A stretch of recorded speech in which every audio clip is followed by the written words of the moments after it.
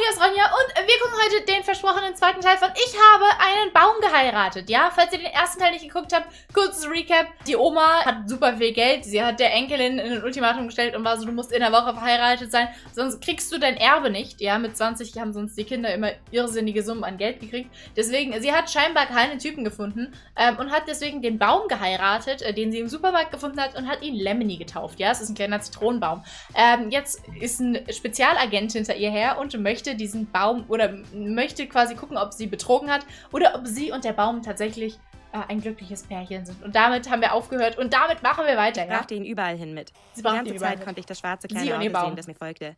Ich ging sogar in einen Pflanzenladen, um ausgefallenen exotischen Dünger für die Pflanzen Sag mal, könnt ihr bitte anfangen, euch an die Verkehrsregeln zu halten? Jungs, das sind Einbahnstraßen. Malt doch die Pfeile nicht da drauf, wenn ihr euch eh nicht dran haltet. Vielleicht etwas Mist kaufen würde, würden sie nicht sehen, dass ich voll davon bin.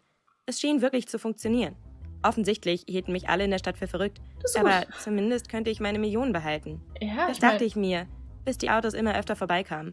Mir wurde klar, dass ich nicht so leben konnte. Ich meine, ich konnte nicht mehr zum Supermarkt laufen, ohne verfolgt zu werden. Warum sind denn da so viele Autos dabei? Ich dachte, das ist nur eine Woche lang. Ich, also im, im, ersten Teil, falls ihr den übrigens nicht gesehen habt, ist der hier oben verlinkt.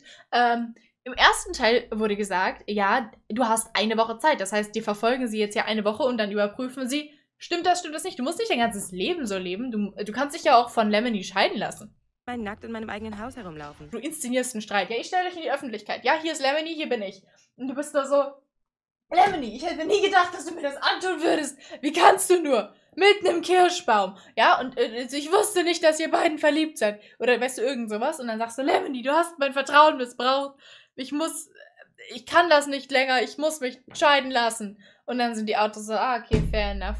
Um, und dann kannst du ein glückliches Leben führen. Ja, das ist kleiner, kleiner Pro-Tipp von mir. Schied ich mich, dass ich dem ein Ende setzen musste. Ich musste alle dazu bringen, mich für verrückt zu halten. Ich musste na, beweisen, na, na, na, na, na, na, na, na, ganz piano erstmal, meine Liebe. Ist das wirklich der einzige Weg? Echt wahr. Also äh. tat ich das Undenkbare. Ich hatte eine richtige Hochzeit. Der beste Tag meines Lebens.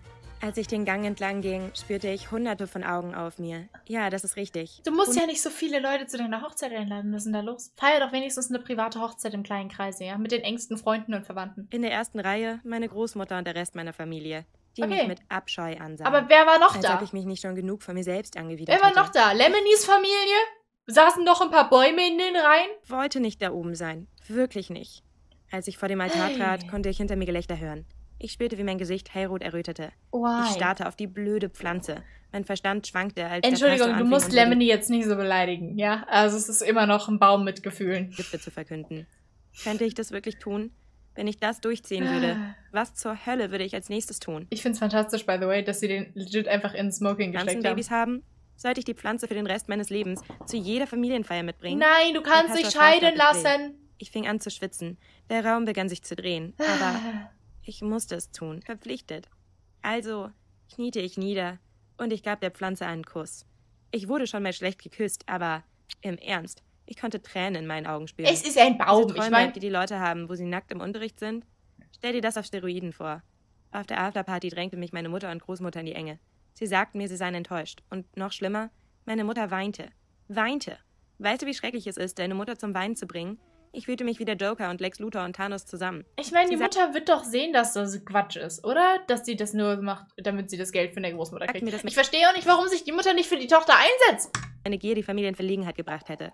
Damit war sie auch schon aus der Tür. Ich meine, ich dachte, es wäre der Sexismus meiner Großmutter. Danach folgten ja. mir die Autos nicht mehr. Ich konnte zum Supermarkt gehen. Ich konnte nackt durch mein Haus tanzen und niemand würde es sehen. Super. Ich stopfte meinen Mann in den Schrank und führte mein altes Leben weiter. Gut. Mit einem großen Unterschied. Meine Familie rief mich nicht an. Sie sprachen nicht mit mir. Weißt du, wie schlecht man sich fühlt, wenn deine Mutter deine Anrufe ignoriert? Was ist, wenn deine Großmutter Nein. deine Anrufe ignoriert? Weiß nicht, meine Großmutter ist tot. Kann mir vorstellen, also ich habe vorher nie viel mit meiner Großmutter telefoniert. Also auch mit meiner anderen, die lebt noch. Mit der telefoniere ich auch nicht viel. Kann ich mir nicht vorstellen, nein. Was um alles in der Welt war so wichtig, dass sie nicht mit mir reden konnten. Jedes Mal, wenn ich die Hand ausstreckte, wurde ich abgewiesen. Wenn ich jemals wieder mit meiner Familie sprechen wollte, wurde mir klar, dass ich meine fünf Milliardste undenkbare Sache in diesem Monat tun musste. Ich musste meinen Mann töten. Ich muss. Ja, natürlich, das ist die einzig lose. Also, selbstverständlich ist das die einzig logische Konsequenz.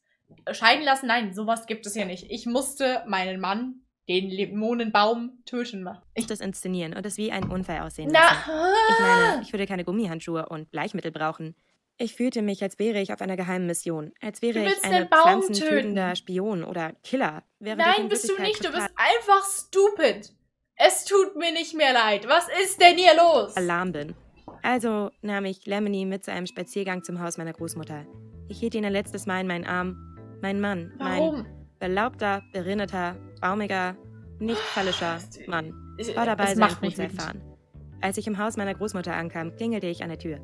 Alles bewegte sich in Zeitlupe. Und sie ist einfach nur so, sie kommt mit ihrem, mit ihrem Mann ähm, da an und sie nimmt den halt auch immer mit zu Familienereignissen. Das eigentlich Lemony auf das cool. Geländer. Als ich die Tür öffnete, krach, bum, bang. Die Pflanze sei weg, gut und tot.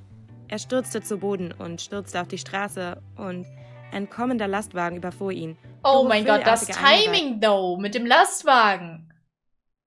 Well played. überall heraus. Es war wie ein Horrorfilm für Vegetarier.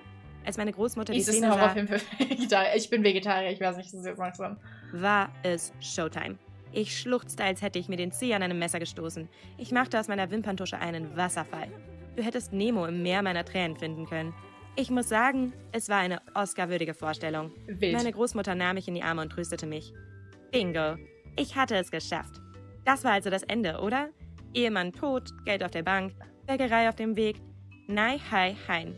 Denn weißt du, was verdächtiger ist, als einen Baum zu heiraten? Den Baum Nicht zur? Beerdigung deines Mannes zu gehen. Ach. Also hatten wir eine Beerdigung. Für den Baum. Natürlich. Äh, ich ich, ich wollte gerade sagen, ne? Ähm, gut mitgedacht. Meine Familie tröstete mich. Sie entschuldigten sich dafür, dass sie mich ausgegrenzt hatten, als ich mir die dummen Krokodilstränen aus den Augen wischte. Aha. Ich stand buchstäblich vor einem Sarg mit einer verfluchten Pflanze drin. Es Im gab Smoking. ein Bild einer Pflanze neben einem Sarg, für den ich bezahlt habe. Außerdem musste ich mir ein Lied für die Beerdigung aussuchen. Ich musste eine Rede halten. Euer Eine gemeinsamer Rede, die etwa Song. wie folgt lautete. Lemony war mein Partner. Meine Wurzeln, meine Zweige, mein Liebling. Wie ich schon sagte, Oscar-würdig, richtig? Nach der Beerdigung Oh Gott, das meine war, Großmutter ich weiß gar nicht, was ich sagen soll. Ich bin sprachlos. Es ist so konfus. Es macht gar keinen Sinn. Wieso passiert das? Es, äh, äh, in, das wird doch in der Realität, würde das nie passieren. Nie im Was? Leben. Da hättest du friedlich einfach einen Kumpel von dir geheiratet, hättest gesagt, weißt du was? Es ist ein gemeinschaftlicher Deal und dann wärt ihr da fein raus gewesen, ja? Dann hättest du ein normales Leben führen können. So, Sie sorry. entschuldigte sich für alles, was passiert war und begrüßte mich wieder in der Familie, jetzt da ich wieder in mein normales Leben zurückkehrte. Ich denke, damit meinte sie, jetzt da ich keine Psychopathin mehr war, die mit einer Pflanze verheiratet ist. Die ganze you. Phase meines Lebens war ein Chaos. Monatelang hatten mich die Leute beschimpft. Sie hatten mich ausgelacht, sie hatten mich ausgegrenzt, mich nicht Aber du eingeladen. hast es geschafft. Aber ehrlich gesagt, zum Ende raus hat es sich definitiv gelohnt. Meiner Bäckerei geht es gut. Meine Oma ist noch ein wenig verrückt. Und ich bin eigentlich glücklich. Ich kann aber immer noch bei Gott keine Zitronen anfassen. Ich hoffe, meine Geschichte hat dir gefallen. Das Hättest ist die Moral von der Geschichte. Betrug lohnt sich. Schön, was da für, für Botschaften vermittelt werden. Äh, und im Notfall, ja, also falls ihr schlecht verheiratet seid, einfach mal einen Mord begehen. Ja, klar, kann ich. Wenn ihr mehr echt passierte Geschichten sehen möchtet, dann verlinke ich euch hier in der Endcard ähm, noch ein paar Videos, eine ganze Playlist, um genau zu sein. Und dann sehen wir uns äh, im nächsten Video wieder. Abonniert diesen Kanal, wenn ihr es noch nicht gemacht habt. Und macht's gut. Bis dann. Tschüss.